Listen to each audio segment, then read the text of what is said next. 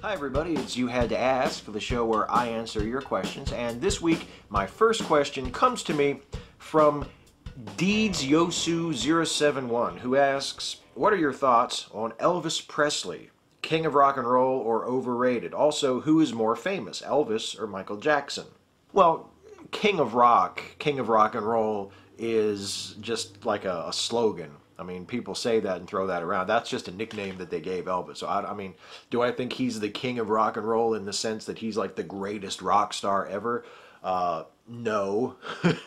so, I mean, in that sense, if we take the title more literally, uh, uh, then I do think he's overrated. I mean, I, all I can say is personally, uh, Elvis's music has never struck me as bad in any sense, but it's never meant very much to me personally. And I mean, I know the rap on Elvis is that he was a white guy who just did what black artists had been doing for years, only he was white and therefore was able to get more visibility and more cultural acceptance and became the king of rock and roll when he was really just doing stuff that other people had been doing in relative obscurity already. Um, and I think that's probably true. I don't necessarily blame Elvis for that. Elvis didn't make America a racist country. he was a product of it and he was a resident in it just like everybody else and he just did his thing the way he knew how to do it and became very successful. I mean, it is unfortunate that the black artists who inspired him uh, were less able to reap the rewards of their music than Elvis was of his. I mean, that's definitely a, a travesty. Uh, but, but I don't blame Elvis for that, and I, I, don't think that he deserves any scorn for that because again, he was just doing his thing in the environment that he happened to be in. Um, and but you know, even there were other white artists contemporary to Elvis whose work I just find a lot more interesting and a lot more meaningful, like Roy Orbison, like uh, Johnny Cash, a, a, huge, huge. I mean, to me, Johnny Cash is on a completely different planet than Elvis Presley. Uh, and his music is just so much more meaningful to me than anything Elvis ever did. Or, or Carl Perkins. Carl Perkins is another one uh, who wrote some songs that Elvis recorded. Uh, and it was just a phenomenal musician and made great music. Uh, and I would, I would take Carl Perkins over Elvis any day. Um, as far as who's more famous, Michael Jackson or Elvis Presley, that's a tough one. I mean, I, I would imagine that they, if you were somehow able to measure how famous people are, Elvis and Michael Jackson would be very high on that list. They might even be numbers one and two. Uh, my impression has always been that Michael Jackson is not only famous here in the United States, but is uh, much more famous, in fact, maybe even more famous internationally than he ever was in the United States. And he was ubiquitous in the United States in the 80s. Uh, the impression I always got was that Michael Jackson was just so huge all around the world. And I don't know if Elvis was. I mean, I think he was certainly very well known. Elvis was certainly internationally famous and renowned, in, especially in his day. But I feel like Michael Jackson even more so. I think, I mean, Michael Jackson sold more records. Michael Jackson uh, was just, you know, this cultural phenomenon for decades. Uh, and I just, I, I, it would probably be Michael Jackson if I had to choose. It would probably, I think he would be a little more famous than Elvis. Uh, and, and, uh, you know, not that this means anything, but on my MP3 player, I do have some Michael Jackson, and I, I don't think I have any Elvis. So. Isaac Barlow, Steve, if an alien landed on our planet, would this finally put to rest that there is no God? Or would it be hailed as God or a significant religious figure showing himself to his believers? Thanks, you demand. I don't think it would be hailed as God. I think even most deeply fundamentalist religious people are, are, are aware enough that they would recognize an alien visitor as an alien visitor. They wouldn't think that it was their God or some other God coming down from heaven to, uh, you know, to reveal himself to the world. I think most people would, would be able to figure out that it was an alien. But I don't think it would shake the conviction that God exists in most really deeply convicted religious people. I, mean, I remember I, I, used to watch uh, TBN and I always felt like a voyeur because I was like peeking in on this little, this, this world of evangelicals and fundamentalists. Um, and I remember uh, somebody talking about if there were aliens. I think it was Kenneth Copeland. Kenneth Copeland was talking about how he had had uh, a conversation with another Christian evangelist. I think it was R.W. Schambach uh, about you know what if there were aliens? What if the aliens turn out to be real and they come down to Earth and you know uh, what do you make of that? What does that what what what implications does that have on your religion? And R.W. Schambach is supposed to have said, "Well, I don't know, but if they need a savior, Jesus is the man." So you know, I, I get the feeling that they would adapt their beliefs to sort of include the aliens rather than taking the aliens as a sign that they had it all wrong. Kevin Faskins, Steve, I assume that because you are an atheist, you have no morals. What common misconception about atheists, atheism most disturbs, irritates, annoys you? Well, that one's a big one. Uh, the uh, the assumption that atheists have no morals or that atheists are just hedonists, that we just do whatever we want. Uh, that's that's a big one. It also bothers me when people assume that atheists are all uh, nihilists or depressed or see no meaning in life.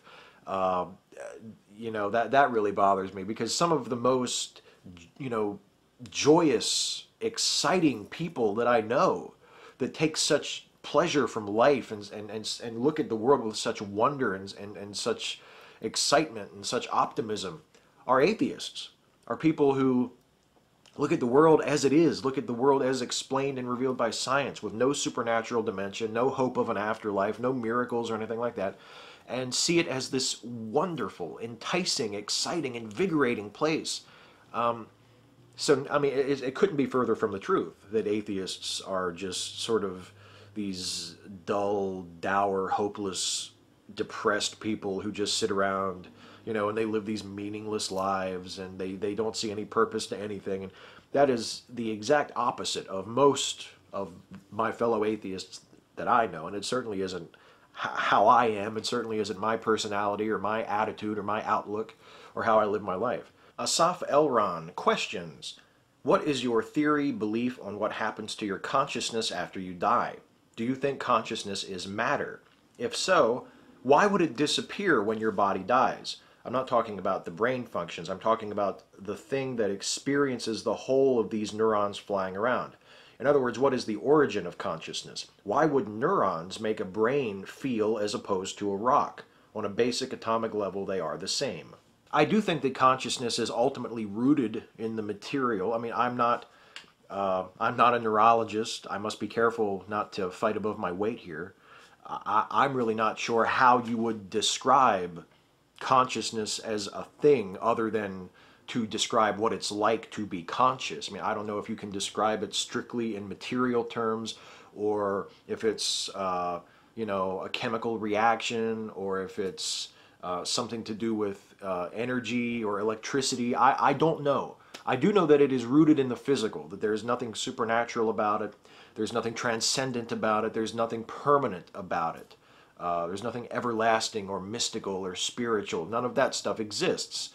Uh, so when we die, our consciousness ceases because our consciousness is not just, you say that uh, a rock and a brain are the same on the atomic level. And even if I grant you that that's true, uh, you're sort of assuming that the basic atomic structure tells the whole story. And I don't think it does. A brain, unlike a rock, is an organism. It performs functions. It has uh, it, it, it undergoes chemical reactions. There are things happening in a brain. There are electrical chemical things happening in a brain. And that is what produces our thoughts, our consciousness. Not just the mere fact of the atoms present. It's what those atoms and molecules are doing. And when those processes cease, when life ceases, and all the processes are no longer operating, then your consciousness uh, fails, your consciousness disappears.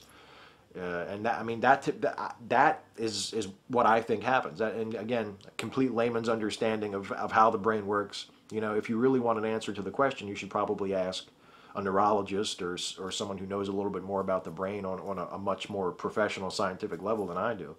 Um, but that's my understanding. And that's the difference between a living thing and a rock. A rock is just sort of sitting there. It's not really doing anything. A living thing, an organism, is doing things.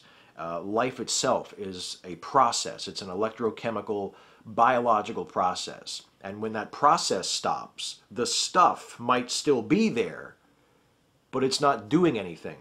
And it's the fact that it was doing something that made it alive.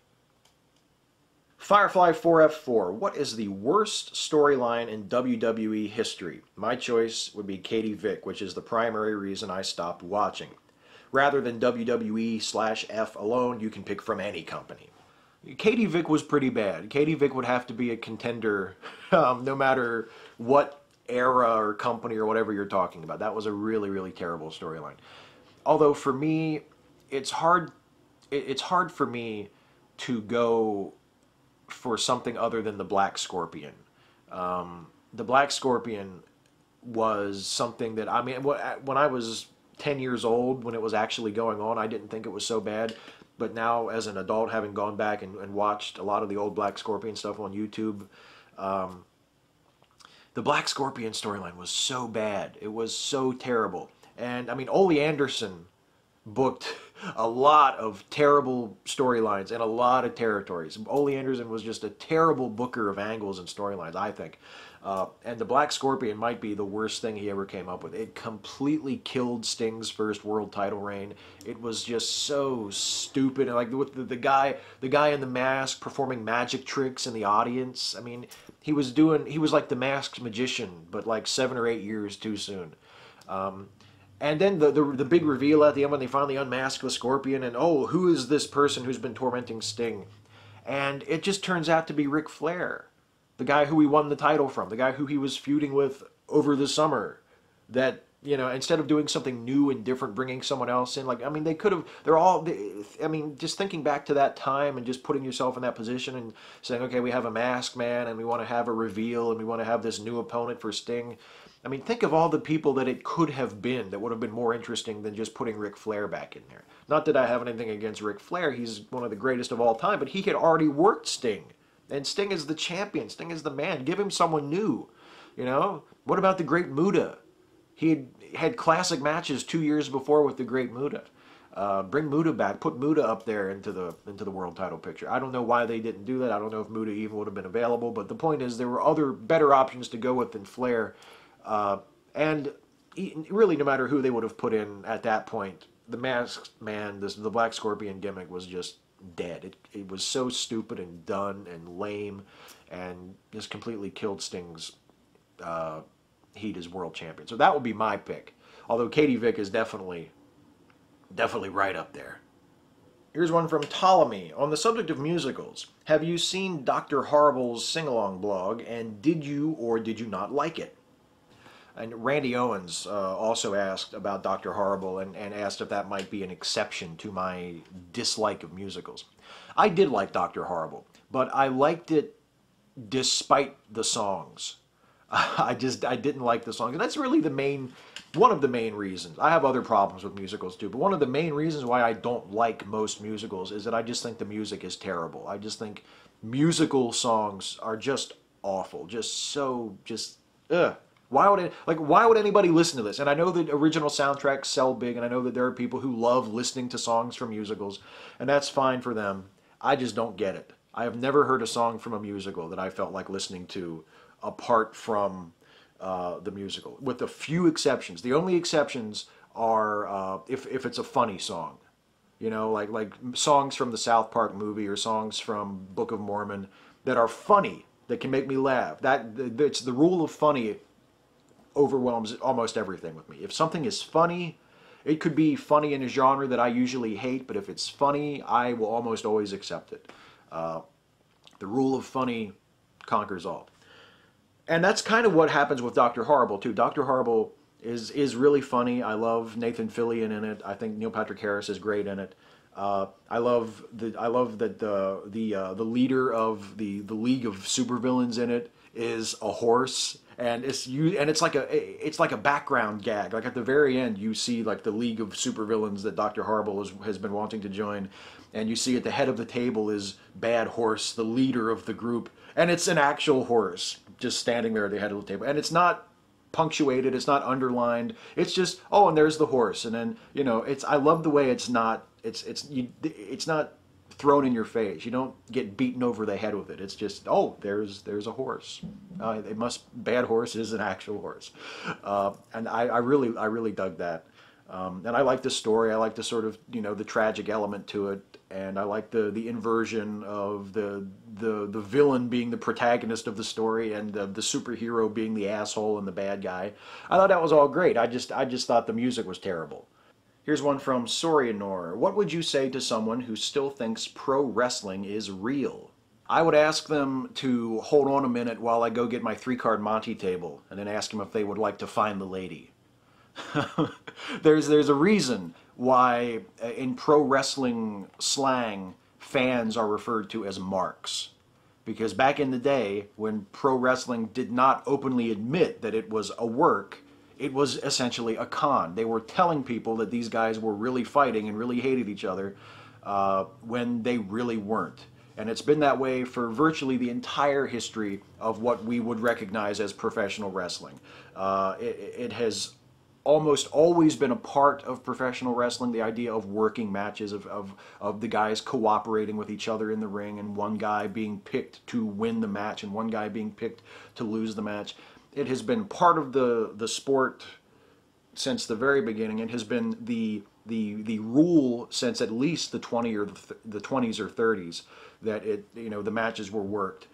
And uh, until about 20 25 years ago it never openly admitted that this is this is a work you know that these guys aren't really fighting that we pick who wins and who loses and they're cooperating and they're not really trying to hurt each other and you know it, and it was essentially a con game and the fans were the marks the fans were the ones who they had tricked into paying to come see their fake fights Matt Broomfield, if man could control one of the following, which do you think would be the most valuable over the next 500 years? the Earth's plate tectonics, the weather, or the path of large asteroids? Well, I've never studied it, so this is just my own informal, possibly not very reliable impression, but it, it seems to me that there is more large-scale death and destruction caused uh, more frequently by weather events than by earthquakes or certainly by asteroid strikes, which essentially never happen. Uh, so I would say the weather. I mean, but then again, if you go if you go on the scale of the next 500 years, I mean, I don't know, maybe a 500 year window is enough time that we might reasonably have to fear uh, a catastrophic asteroid strike. So I don't know, maybe asteroids would be the way to go. You know, maybe it would be worth our peace of mind for the rest of our human history, for the rest of our future, however long it goes, to be able to control asteroid strikes, because then we just would never have to worry about that extinction level event coming down. Um, but I mean, on a day-to-day basis, I, I, think it would almost have to be uh, the weather, because I mean, uh, there are certainly horrible earthquakes that cause billions of dollars in damage and, and, and can kill people in the hundreds or thousands. I mean, that, that has happened before, uh, too many times, unfortunately but it, it just seems to me like those sorts of events happen more often as the result of the weather than of a devastating earthquake. So I would go with the weather. Matt Lesner, Steve, have you ever refrained from an activity of some sort once you learned of a company's political position? For example, when I learned of Chick fil A's bigoted stance on gay marriage, I stopped eating there altogether. There's a Salvation Army thrift store in Hagerstown that I don't go to anymore, and I don't give money to the Salvation Army uh, because of that organization's anti-gay stance. And I, I would have given up Chick-fil-A if I ever ate there. And I'm a fast food guy. Like I, I'll eat fast food. I like Wendy's and Burger King. Uh, I went to Chick-fil-A once many, many years ago when the first Chick-fil-A in Hagerstown opened up. And I just thought the food was shit. so I just never ate there after that. I haven't been there since. I just so I don't I didn't have to boycott Chick-fil-A after their gay marriage thing started last year because I never I never went to the in the first place. I, I, I thought the food was terrible. Here's one from Claire Small. Does it hurt to roast the ones you love, Steve? Actually, if you can put that in a You Had to Ask segment, I'd like to hear your process of five stupid things for subjects that which you do love.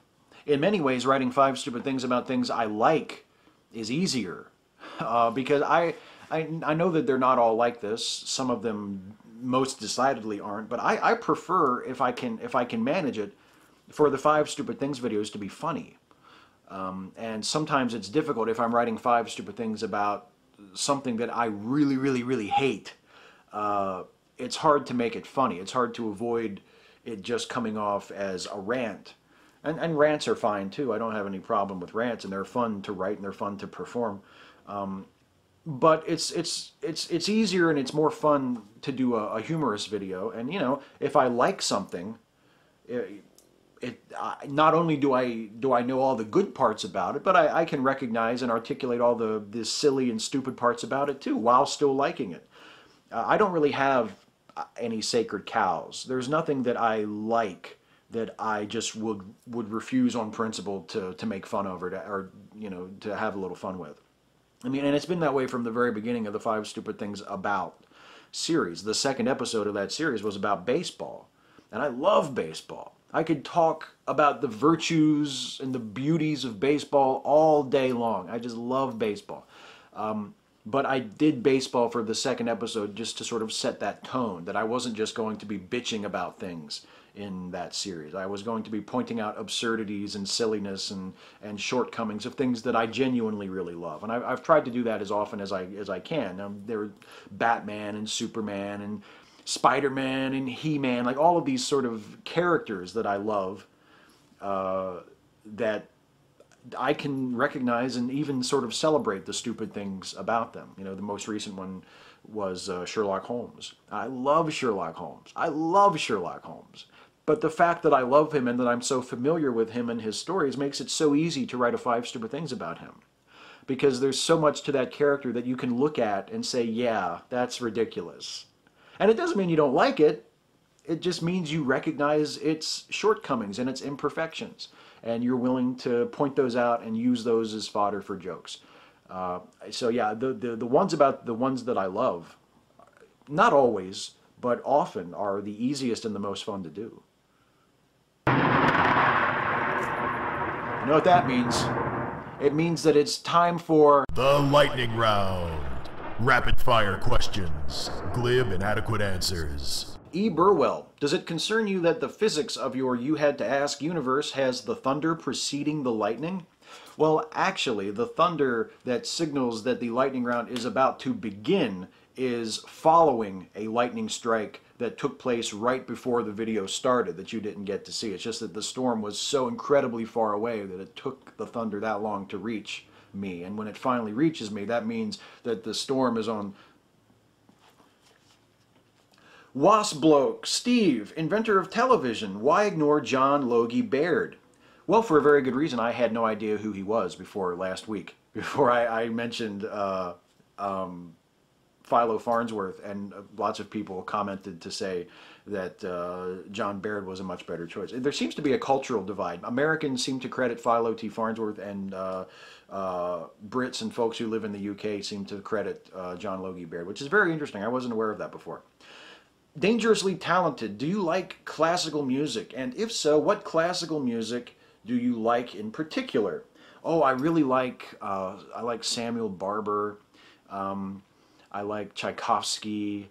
I like uh, Dvorak. Who, who's a? Oh, I mean, Mozart. You know, you can't go wrong with Mozart. Not as good as Beethoven, though. I think he's generally considered the best. The David Brent impression was on the house. Jim Smith, hey Steve, I have a bunch of either or film questions. Okay, I'll take these as they come. Okay, Alien or Aliens? Alien. T1 or T2? T2. Godfather or Goodfellas? Uh, Godfather, but it's close. The Exorcist or The Shining? The Exorcist, and that's really not so close. Pulp Fiction or Reservoir Dogs? Pulp Fiction. Indiana Jones trilogy or original Star Wars trilogy? That one's really, really close, but I'm going to say Star Wars. Uh, Vertigo or Rear Window? I'm going to say Vertigo, one of my favorite films. Uh, and Once Upon a Time in America or The Good, the Bad, and the Ugly? The Good, the Bad, and the Ugly. Calvin Zero, Steve, you think someone who picks a fight with a cat is pathetic. What if the cat in question is a tiger or a lion? Well, then they're not just pathetic, they're an idiot. Jared Plotkin, who is your celebrity crush? oh, they come and go from time to time, but the one that has remained with me the longest is Jennifer Connelly. Hmm. Jennifer Connelly.